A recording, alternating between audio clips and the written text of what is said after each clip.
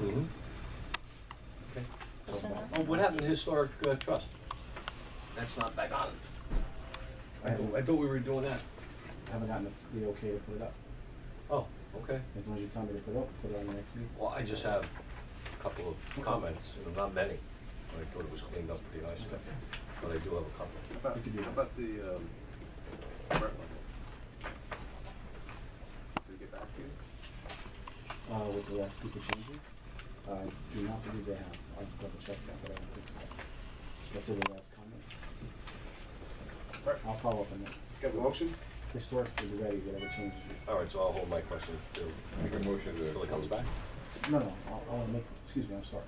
Sorry. If there's anything I can change, I'll change it and then you can put it on the next meeting. Well, it, it's real quick. Okay. I uh, didn't have my copies with me. Um, It's been through more drafts. No, we're not closed yet, I know. Um, It talks about recommending a building, a structure, a site, whatever, whatever, as an historic landmark. Is that after the consent? Because in the beginning, it says you, that the, the property owner needs to consent. Right. But then it just speaks about, you know, having a hearing, going through, um, We still have to go through. the planning board, exercise, right. but, so my question is, if there is no consent, then obviously they don't go through the exercise, correct? That At that least was, at that this- was unclear to me in here. At least That's, at this stage is, is, that's what you got, the gentleman wanted as the ordinance. If that changes, you, you have to change the ordinance. right. Right.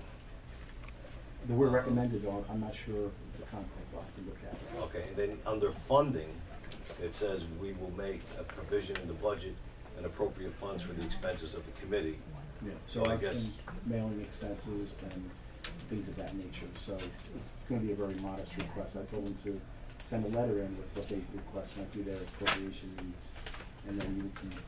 And then the next paragraph talks about they may employ contract for fixed compensation in consult, as they deem necessary, in consultation with the planning board. Right. All right, what about in consultation with the planning board and the board of commissioners? Um, Sure.